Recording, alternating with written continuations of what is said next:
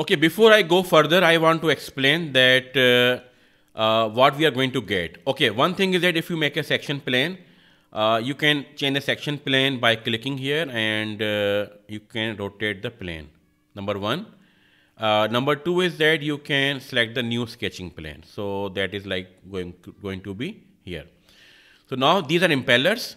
So let me give you idea.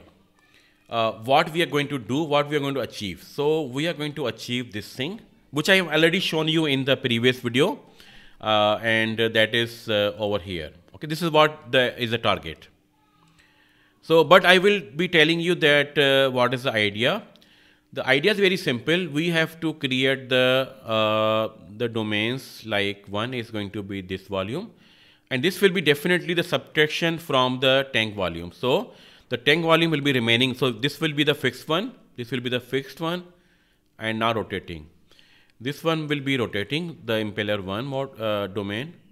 This will be rotating domain. And similarly, around the second uh, impeller, we have the we have to create a region, a fluid region, a control volume, and this will also be rotating. Now we can solve this one with the help of MRF or uh, multiple reference frames, and this is steady state technique. And this is also called as the frozen rotor in CFX. and uh, the corresponding command in in the fluent is the in the cell zone is the frame motion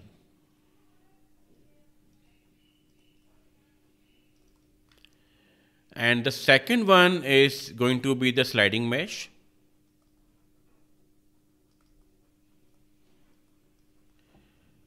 and this is uh, transient understudy and uh, the corresponding name in the fluent uh, when you uh, provide the cell zone condition is the uh, mesh motion. The difference is that in the in the steady state, uh, we are providing the RPM to in, in, in the both cases. The one thing is that the MRF is like uh, fixing the position of the impeller at the in the space. So this will be like a single position solution around the geometry, but the momentum terms and other terms, they are already imported into the fluid. So it will be having those effects already. For example, if you run this case in the steady state, you will be getting the vortices and the flow will be moving from going inside and will be going outside like we will be seeing in the uh, sliding mesh.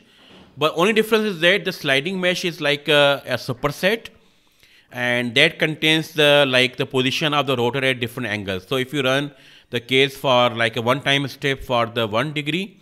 So the frame motion is like a one particular position of the impeller. That's a one subset of the sliding mesh simulation. So definitely when there's there's not any movement, so it's not uh, moving in the space. So no time will be there. But if this is moving in the space, definitely this will be based on time frame. So this is going to be transient case. Okay, so this is what we are going to achieve here, but I'm not going to run the simulation. Maybe I will be teaching you the, the meshing. Okay, so before I go uh, here, I want to teach you that uh, the impellers have the few issues.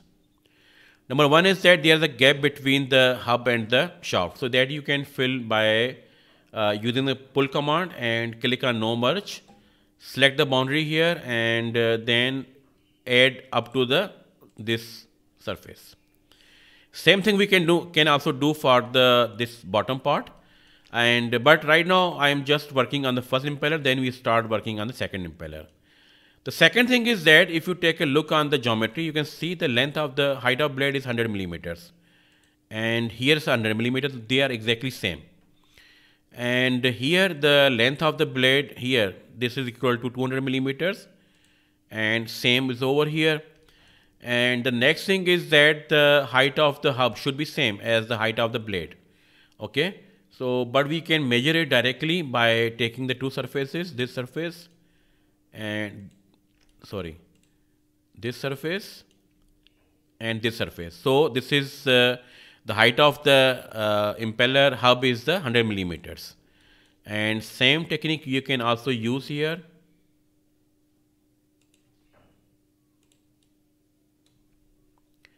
And you have to press the control key for selecting the second face.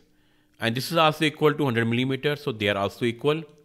Uh, number another thing is that the diameter here is a 125.1 millimeter, but this is not a concerning thing right now. So first thing that is we are going to do is that we have to hide the shaft. So triple click and click on hide. Before we go further, the first important thing is that because every uh, movement we are going to make like moving the geometry in translation or a rotation, it depends on the, uh, we are assuming geometry is already on the global center, okay?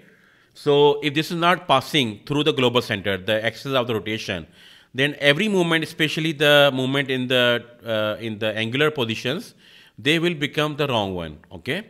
So that we cannot risk here. So first thing is that you must ensure that the, we have the rotation axis passing through the uh, the zero uh, of these two coordinates. So if the, this is right now is uh, my rotation axis, so z and x should be zero on the z axis. So now there to confirm, we have to make a one point here. So let me show you that how this can be done.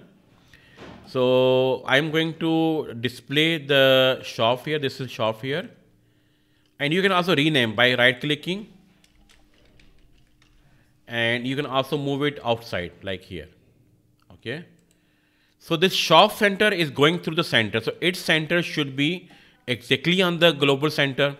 So I'm going to make the one sketch here and I'm going to make the one point on this location here. Okay, now go back to 3D mode and uh, I'm going to put the one origin over here. Okay and uh, now you can right click on the this uh, origin center by clicking on the move command.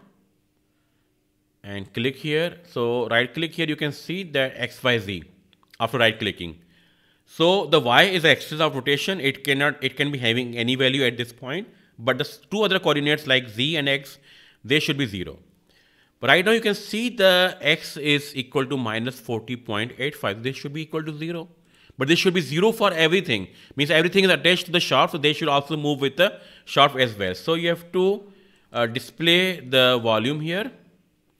And uh, then you have to select everything, including the this origin, which is here. So select all. And uh, because, because we have selected everything here, so then you can see here that everything is selected. So make this uh, uh, this origin to the this uh, origin we created here, this angle point, and then right click on this cube here, and then choose x y z. And just simply make the zero value in the x coordinate uh, by clicking on the keyboard. And then press enter key. Simple. Okay? So you can see that uh, that origin is also moving there. So now you can click here, right click here and uh, you can confirm the x, y, z coordinate. So this is 0 uh, x, 0 z. It means that now geometry is at the global uh, center location.